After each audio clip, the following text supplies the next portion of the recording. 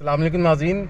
हम आपको आज इस वीडियो के बनाने का मकसद ये है कि आप देख रहे होंगे कि हमारे चैनल पे जो है, बहुत दिनों से रज़ा भाई के घर जो है, वो नहीं दिखाए जा रहे हैं। और हम आपको ये बताते चलें कि रज़ा भाई जो है, हमारे बहुत प्यारे कौमी असासा हैं। वो इस मुल्क के लिए बहुत बेहतरीन तरीके से अपनी खदमात सर अंजाम दे रहे हैं। प्रॉपर्टी के मामला में गरीब लोगों की मदद भी करते हैं और गरीब लोगों को बहुत अच्छी डिटेल्स बना, बताते हैं और गरीब लोगों के लिए कोशिश करते हैं कि उनको जो है, उनका घर हासिल हो जाए। नाजिन हम ये बताना चाह रहे हैं और बहुत मलूल कैफियत के साथ और बहुत ही ज़्यादा रंजीदा कैफियत के साथ हम आपको ये बताना चाहते हैं कि रज़ा भाई जो हैं, उनका एक्सीडेंट हो गया और रज़ा भाई के एक्सीडेंट की वजह से वो बेड रेस्ट पे हैं। लेकिन खुश आइंग बात यह है, बहुत अच्छी बात यह है कि जो है अब उनकी तबीयत काफ़ी बेहतर है। मेरी भी उनसे फ़ोन पे बात हुई थी तो उन्होंने कहा, मैं काफ़ी बेहतर हो गया हूँ, और लेकिन मैं ज़रा सा डिस्टर्ब ये हो रहा हूँ कि लोग मुझे गैर ज़रूरी कॉल्स कर रहे हैं, और मेरी गैर ज़रूरी कॉल्स करने की वजह से मैं ज़रा सा जहनी तौर पर मुस्तरबुल हाल फील करता हूँ तो मुझे गैर ज़रूरी कॉल्स ना करें, लेकिन फिर भी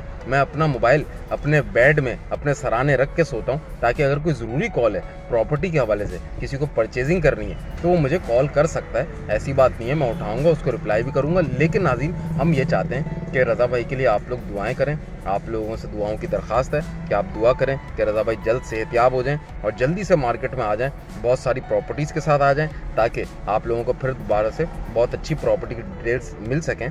तो नाजिन, हम बस इस वीडियो बनाने का हमारा मकसद भी यही था कि रज़ा भाई जो है, उनका एक्सीडेंट हुआ है तो हम आपको इन्फॉर्म कर दें, आप लोगों से दुआओं की दरख्वास्त है, आप लोग दुआ करें और रज़ा भाई बोल लें मुझे इतनी कॉल्स भी ना करें कि ये पूछने के लिए कि मेरा एक्सीडेंट कैसे हुआ है। क्योंकि मैं ए टू जी दोबारा से सबको बताऊँ तो सौ कॉल्स आती हैं तो ये तो फिर मुझे जो है बड़ी मुश्किल होगी। या तो फिर मैं एक रिकॉर्डिंग करके छोड़ दूँ, जिसमें सारी अपडेट्स हों। लेकिन ये है कि बार बार मैं एक ही जैसी डिटेल्स नहीं बता सकता हूँ। मुझे ज़रूरी कॉल्स करें, मुझसे बात करें, और जब मैं फिर सही हो जाऊँ तो फिर भले आप लोग मेरे पास आके मज़ाक मस्ती जो भी हल्ला गुल्ला करना है, वो सब दोबारा से शुरू कर दें। मैं एक बहुत जल्द तकरीब भी रखने वाला हूँ सब लोगों की, और उसमें मैं आप लोगों को खाना खिलाने वाला हूँ। तो हम खुद चाह रहे हैं कि रज़ा भाई जल्दी से सही हो जाएँ, क्योंकि हमने भी बहुत दिनों से रज़ा भाई जिस तरह की बिरयानी खिलाते हैं, वो बिरयानी नहीं खाई है। तो रज़ा भाई बहुत जल्द बिरयानी लेके आपकी खिदमत में हाजिर होंगे, और बहुत सारी प्रॉपर्टी की डिटेल्स के साथ हम भी आपकी खिदमत में हाजिर होंगे। अपना बहुत ख्याल रखिएगा। अल्लाह हाफिज़।